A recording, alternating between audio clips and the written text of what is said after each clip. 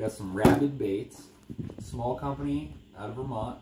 Found some new innovative jig baits. Looking for stuff online. I'll bust these puppies open.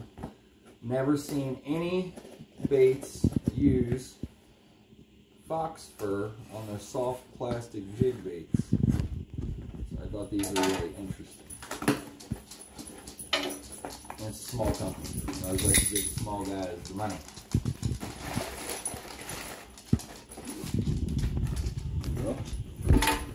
Baits out of Vermont. There's some shaker worms. Got some blue flake in them. Pretty nice. I got some more shaker worms.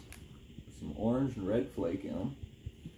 This is the muddy water set, or dark water set here in Ohio.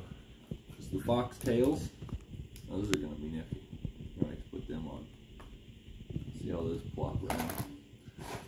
We got the green foxtails. Isn't that cool? They got the fur coming out of the rubber jig bait. Never seen that. Never seen that. And then these, I'm really excited about these. Some crawls. Some crawls here. Red crawls for the early season here in Ohio. And then some of these blue ones for middle of the summer, they start changing. Blue flake, red flake. Can't wait to give these rabid baits a try here.